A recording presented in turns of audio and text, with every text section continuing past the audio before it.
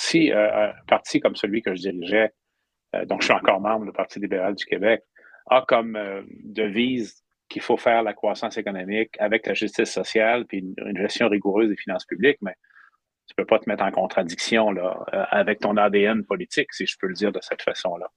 Il y a mhm. d'autres partis euh, plus à gauche, puis je respecte toutes les opinions. Euh, la beauté de la démocratie, c'est qu'on a toute l'étendue des opinions devant nous, pour lesquelles c'est c'est pas vrai, c'est pas important de faire l'équilibre budgétaire, c'est pas inquiétant, il faut continuer à faire et surtout dépenser beaucoup, beaucoup, euh, sans, beaucoup de limites. Alors, je pense que la, la, pénalité, s'il y en a une, elle est politique.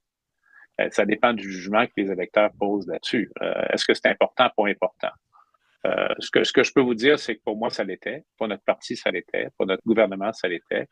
Et je savais d'avance que ce serait, ni facile